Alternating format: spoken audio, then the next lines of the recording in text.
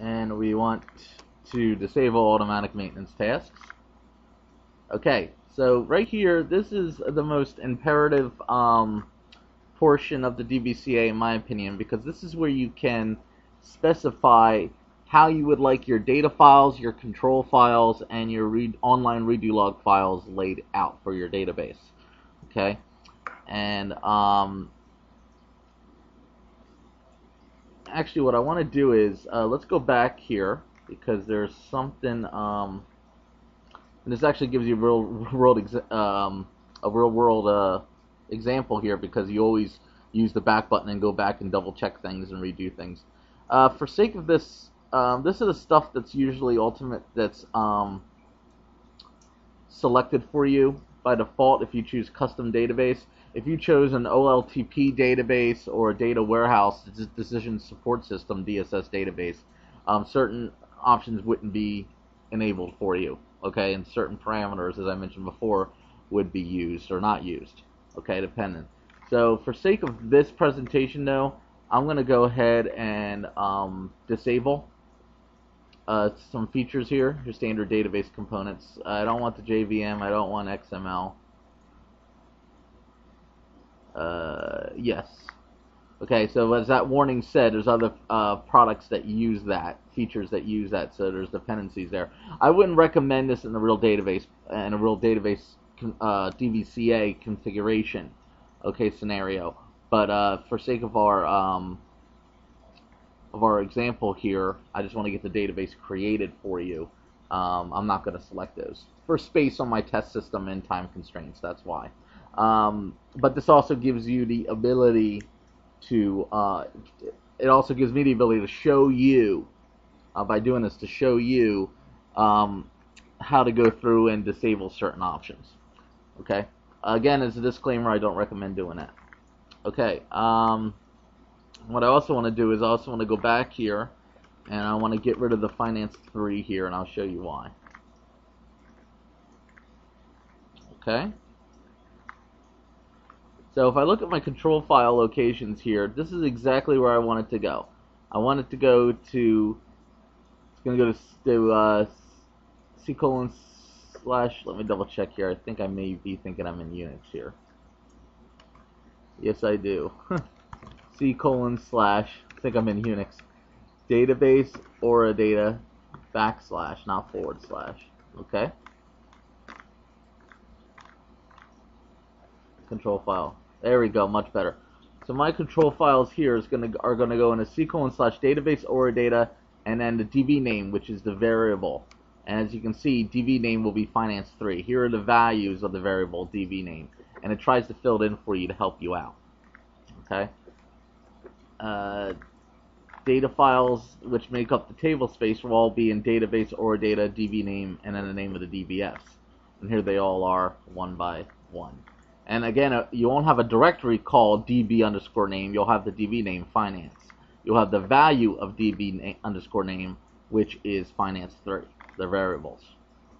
Okay, and your redo log groups, which are three groups, one member each. Database oradata, the name of the database. Okay? And uh, as you can see, I want to go back here. There are stressing right here um, the um,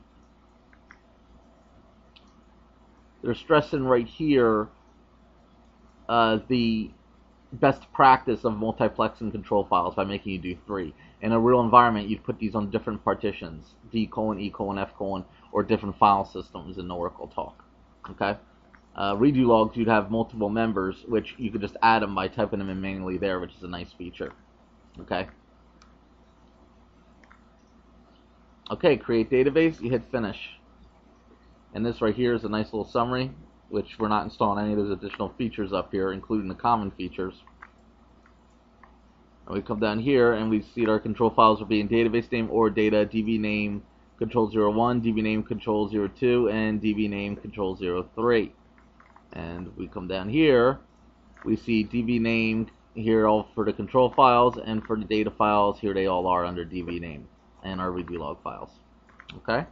So we can just go ahead and click finish and it will create database. And for the interest of time and YouTube video space, I am going to pause this and I will resume it once the uh, database creation is completed. Now, note under the covers, it's doing the create, it's executing the create database command, which creates our data dictionary base tables, tables that end with the dollar sign, um, and it's also going to execute after that the catalog.sql script, which creates the uh, data dictionary views the views that all begin with DBA underscore user underscore and all underscore. And it's also going to execute the catproc.sql script, which creates all the Oracle supplied PL/SQL packages. Okay, so I'll resume this video when the database has been created by DBCA.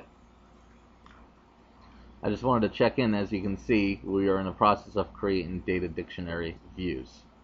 Okay, I'll resume when it's done.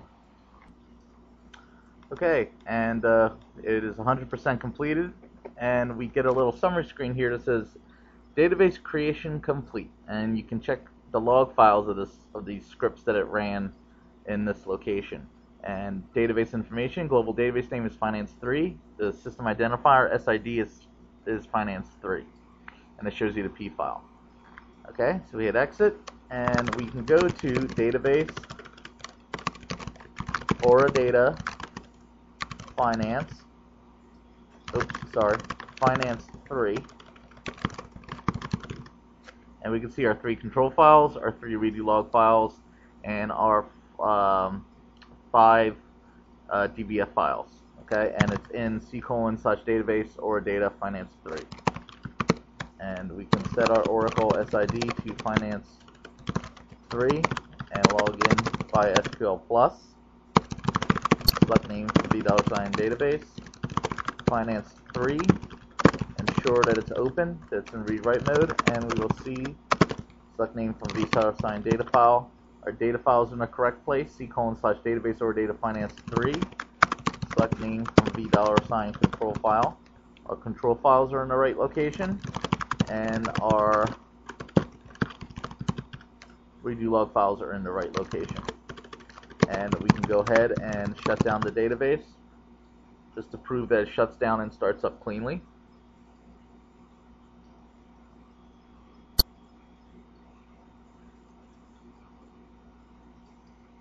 Closed, dismounted, and an instance shut down. And then we can do start right back up. Instance started, mounted, and open.